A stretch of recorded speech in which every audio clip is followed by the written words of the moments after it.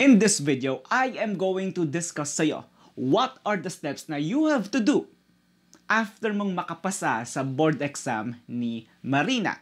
Now, this video is targeted po para sa aking mga deck cadets and mga deck ratings. Now, hinati ko po ito sa dalawang topics, sa dalawang area. Aakto ka at hindi ka pa aakto. Okay? Unahin ko muna sa mga deck cadets. Okay? Aakto ka na. First, is you have to do your training. Now, right across the screen, I'm gonna be putting the training matrix, okay, na the list of the trainings na you have to take. Okay, na, na, na nakalagay dyan sa screen. Okay, nilagay ko dyan sa screen. Okay, and number two, next step mo is you will be promoted by the office. Promoted ka ng iyong kumpanya or ng shipping agency. And then last but not least is sasapa ka na. That's it. Okay? Pero sa nangyayari kasi ngayon, eh, may, pand- may kumakalat ngayon na sakit, di ba? So, ang nangyayari ngayon right now, may traffic ngayon. So, hindi hindi agad-agad na po promote ang isang kadete or nakakaakto. Although may mga company na immediately nakakasampa pag maganda ang record, maganda ang uh, uh, promotion uh, uh, pro- promotion proposal, yan, okay? Typically ganyan. Pero sa ngayon kasi mm, pahirapan eh. Pahirapan makaakto agad eh. So, ngayon, kung hindi ka naman makaka-acto ka agad, okay, kadete ka. Now, meron tayong 1A and 1B. Okay? Pwede kang sa 1A, utility, continuously. Okay? Continuously ka uh, magiging utility. Or 1B, tra- tra- magte-training ka. Okay? Magte-training ka. Okay? Tapos, sasampa ka, okay? Sasampa ka ng barko. After mo mag-training, sasampa ka ng barko. And number three is wait for promotion on board. Okay? Pwedeng ikaw yung papalit na third officer kapag ka mag-off signing na ang, well, yung nag stay na third mate doon sa barkong yon pwedeng ganyan. Okay? Ito po ang storya ng mga deck cadet. Well, paano naman po sa ating mga uh, deck ratings? Okay, paano po sa ating deck ratings? Okay, again, hinati ko ulit sa dalawang topics sa uh, wag maligaw. Acto and not acto. Okay, unahin natin sa aakto. Now, depende po ito sa company. Linawin ko, ah, depende po ito sa company na pwedeng pasasakayin ka as 1A, deck cadet first, or 1B, akto ka kaagad. Pwede ganyan. Pagka akto mo kaagad, okay, pa, di ba, magte-training ka. Pagka training mo, sasampa ka kaagad. Pagka sampa mo, okay, itong fourth step na to. Okay? If 1A, which is deck cadet first, wait for promotion on board. Okay? So, linawin ko lang ha, linawin ko lang. Okay? Kung akto ka, depende po sa company, yung 1A. Kung deck cadet, may mga companies kasi, in my case, in my case, sa uh, sa company ko po, uh, may mga deck ratings na nakapasa sa board exam and then they did have their training pero 'di ba yung mga ABs yun eh mga able-bodied seaman yun eh and then yung pumalit sa akin pala yun naalala ko yung pumalit sa akin na seafarer was hindi deck cadet but AB Okay? So yung sahod niya na let's say roughly around 1,000 US dollars, bumaba to 350 US dollars kasi kadat yung position na sinakyan niya. Tapos nag-aantay siya ng promotion on board. Okay? Kukuha siya ng promotion proposal or maybe actual, 'di ba na promotion on board na yung kapitan yung magsasuggest. Okay? Yun yung nangyari sa pumalit sa akin na AB. Okay? Pwede, pwede po sa company yan na may mga uh, companies kasi na hindi ganyan eh. Okay? So again, if 1A, wait for promotion on board. Okay? Yan po ang mangyayari. Okay? Now, sa istorya naman ng uh, hindi ka aakto, okay? Meron tayong 1A, training, kung hindi ka pa aakto. Training, 1B, continue deck rating position. Okay, kung hindi ka pa aakto, okay, pasasakayin ka as probably AB pa din, okay, able-bodied seaman or probably bosun pa din. Okay? Tapos, pagkasampa mo, mag-antay ka for promotion on board. Mag-aantay ka. Okay? Mag-aantay ka ngayon ng promotion mo uh, on board. Okay? Yan po ang uh, current na steps na kailangan mong gawin after mong makapasa kay Marina. Okay? Yan po ang iyong current na steps. Now, okay? Naglagay ako dito sa baba, 4 tips for promotion. Okay, meron tayong four, uh, four step, naglagay ako ng four tips uh, for promotion. So, at least kahit pa paano, hindi ka na masyadong mahihirapan ngayon. Okay?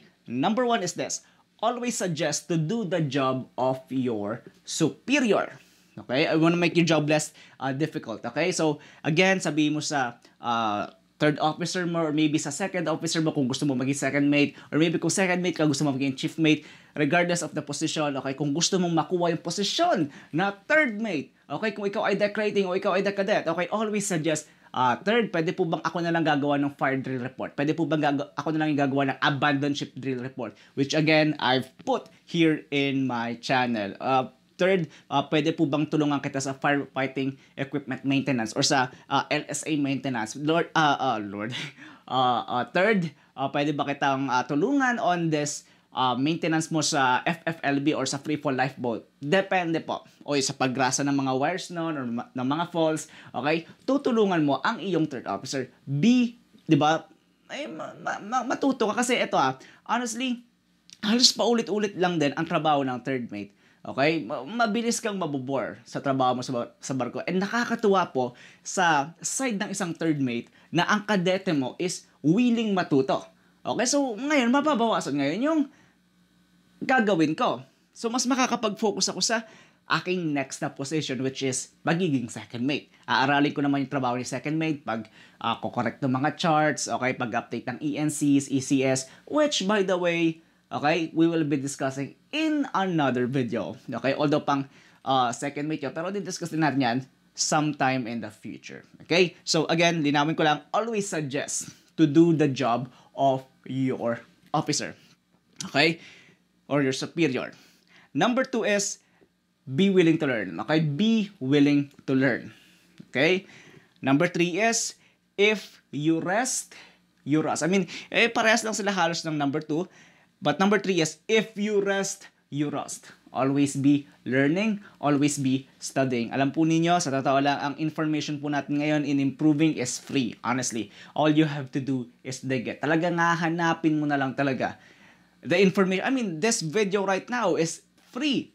Okay, may mga training center na nagtitake advantage sa mga 'di ba, mga videos na ganito. I mean, I'm not the only YouTuber na 'di ba nag-upload ng mga instructional videos, but there are training centers out there na 'di ba nagte-take advantage sila, 'di ba na magjo-join kayo na ganito, ganito, ganyan and then the after, 'di ba the following day, the following week libre na lang. I mean, just watch na lang dito sa YouTube, libre pa, safe pa.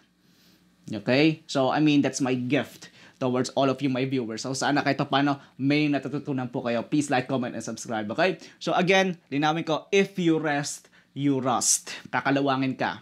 Okay? So, yung utak mo is kapag ka hindi na exercise, parang muscle yan eh. Pag hindi po na exercise ang iyong muscle or ang iyong katawan, hindi po mababanat yan, hindi po mag-grow yan. Same thing with the mind, same thing with the brain. Okay? May mga free audiobooks naman po uh, regarding PDSI or personality development and self-improvement about leadership sa barko. Damay ko na rin yung leadership skills. Pwede rin naman yung patience. Okay? Which, by the way, coincides then with our number 4. Okay? You need to be stable under pressure because po sa barko, changing weather, changing uh, climate, okay? Changing shipping schedule, changing cargo, changing crew, okay? Paiba-iba pa yung nationality, iba-iba pa yung ugali. All of those things na nabanggit ko, change at the same time. Agad-agad. Okay? So, ang mangyayari ngayon is, ikaw dapat as a officer or potential na, di ba, mag-official pa lang in the future, eh dapat stable ka under pressure. Paiba-iba yung kargada, may deadline kayo na you have to catch up. Kailangan sa next port, nandito na kayo at this specific date Okay, napakadami pong deadlines, okay, and routines na kailangan dapat ma-master mo. And at the same time, the company requires you, your master mariner, okay, or your captain requires you to be stable under pressure. Your crew requires you to be stable under pressure. So ngayon, pag ikaw na yung umak ng third mate, eh, stable ka. Okay, maaasahan ka. Ipakita mo sa kumpanya mo, sa mga kasama mong opisyal o kung ikaw ay kadete, 'di ba? Pakita mo sa third mate mo na kaya mo siyang palitan.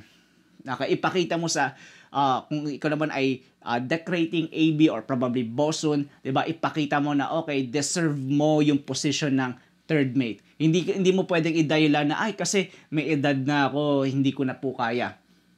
I mean, that's an illusion. Nasa utak lang yan. If you say na hindi mo kaya, well, then hindi mo talaga kaya. Okay? If you say na, 'di ba na ay nako mahirap lang ako. Okay, then mahirap ka talaga. ay naku, ma- slow kasi ako. Eh. Di, slow ka talaga. But if you say na matalino ka, di ba? I mean, matalino ka talaga. If you say na you are a genius, you are a genius. Okay? It all starts here. Okay? If you say sa if you say sa akin na okay, may depression ako, ay, hindi ko na kaya mag-opisyal. Okay, natatakot na ako. Again, nasa utak mo lang 'yan. Okay? It's an illusion. Okay?